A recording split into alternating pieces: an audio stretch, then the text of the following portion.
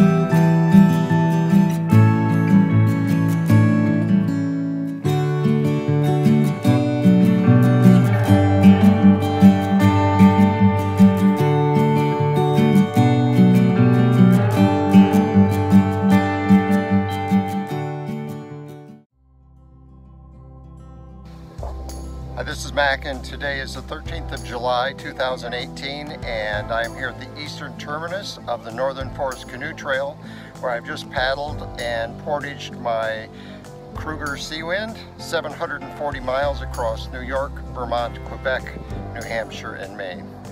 As I've stated before, it's a very long trip, a very long trip. Uh, the first one might have been the most memorable, but every time, this is my fourth time, it's the best. So it's been a great time and uh, I truly, truly enjoy it.